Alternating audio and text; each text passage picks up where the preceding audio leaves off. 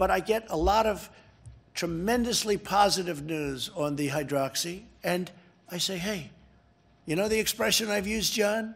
What do you have to lose? Okay, what do you have to lose?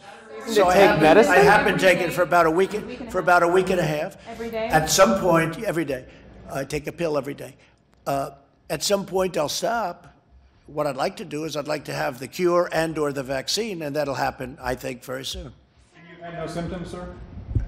Zero symptoms. No, I haven't had any. No, I tested. We I test every couple of days. They want to test me, you know, for obvious reasons. I mean, I am the president, so they want to test me. I don't want to be tested, but they want to test me. So every couple of days, I get tested, and I've been I've shown always uh, negative. Right? Negative. Is that the term you use for this? Right? Negative. Totally negative. No symptoms. No nothing. But no, I take it because I think uh, I hear very good things.